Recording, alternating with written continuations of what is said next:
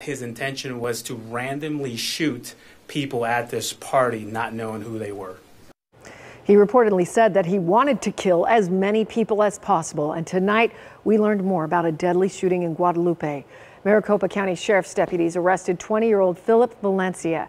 He just made his first court appearance. That was about 30 minutes ago on first degree murder and assault charges. The judge says he's a flight risk and post, poses a danger to the community. So she has now set his bond at $1 million cash. His lawyer claims that he has mental health issues.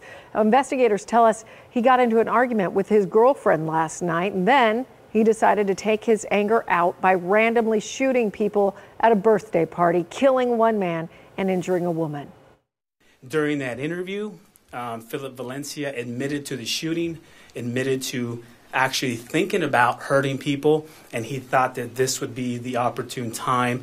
And what he wanted to do is shoot all the weapons, all the bullets from his weapons, excuse me, and kill as many people as he could. And we're told that family members held down Valencia at his home until deputies and police arrived.